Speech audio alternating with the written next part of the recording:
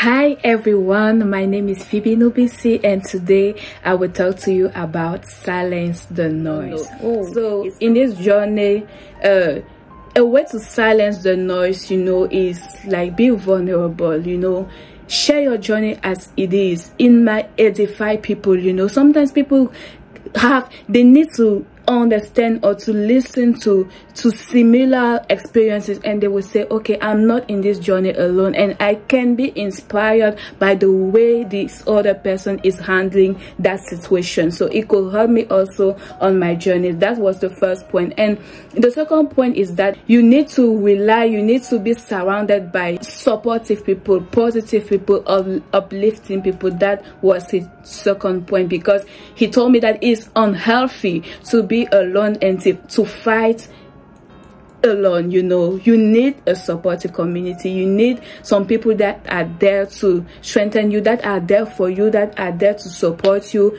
in your downtime. And you do the same for them you know. It's like i always say it is a mutual beneficial relationship. It's not just an a one side but it's like two sides you know. Yeah it's how it works. And I was sharing my experience with him and I was telling that most of the time when sometimes I will face challenges and I will feel alone, lonely because, you know, because the people that I help most of the time, they expect me to to to be perfect. They expect me to be at a higher level. It's true that sometimes i might be stronger at it but there are low time for everybody and sometimes the same thing that you have been telling to people you need to hear that. But people sometimes they are not sensitive to know that okay it's true that she she is used to uplift us but today she needs also to hear it in return. She needs that grace. She needs that compassion. She needs to to be shown the gift of mercy but people sometimes they do not understand that and they judge you and they you know they take action they they are rude but sometimes i just want to let you know show mercy. Can i give you this challenge today? Show, show mercy, mercy, to 10 people. Like don't care about how they act. Sometimes people will act strange the fact that they are strange to you is that they need help. They are hurt. You don't know what they are they are facing. You don't know what they are going through. You don't know their battle. You don't know their struggle. Sometimes they will not have the courage. They will not feel like secure to share it with you. But you know need to be sensitive you know.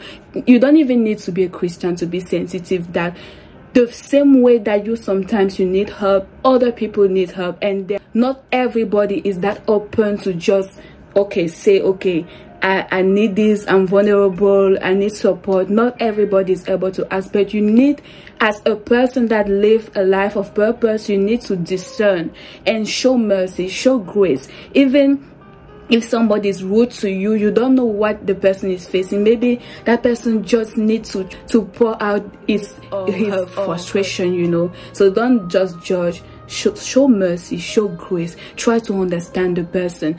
Try to be just friendly to that person. Yeah i remember i was in on a plane one day with uh some people on the plane. Eventually i was at the window i was at the edge and at that time I, I noticed that the person that was in front of me it was a, a man and he was always looking outside and it was at night. And i was surprised that how can he be so focused? And he was looking worried. He looked worried at that time. And I just like touched him because I didn't know his name and the plane was there was a lot of noise so I just touched him. He turned his back and to see what's going on. I didn't say anything because me too I was afraid but I was concerned because I was like observing. I was noticing that something is not that common with his behavior and i did it a second time and i present my presented myself and i say okay i just I just wanted to say hi, like just to say hi.